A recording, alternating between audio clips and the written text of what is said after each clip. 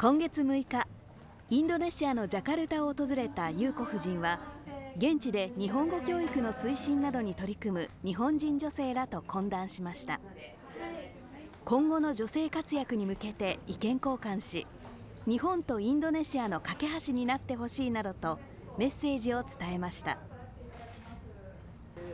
翌日にはジャカルタ市内にある日系ゼネコン企業の事務所を訪問。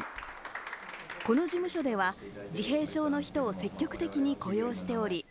優子夫人は企業が進める多様性への取り組みなどについて説明を受けました。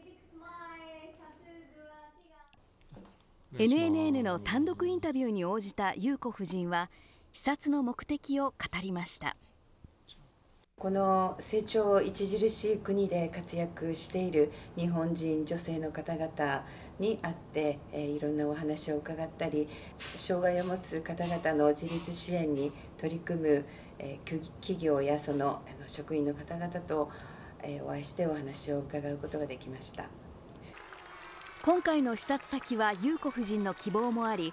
岸田政権が力を入れる女性の活躍や多様性などのテーマで選ばれたということです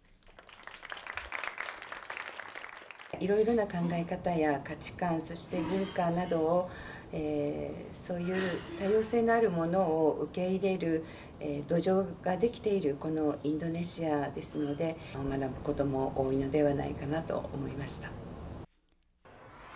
岸田総理も政権が力を入れる同様のテーマで国内視察を行っている中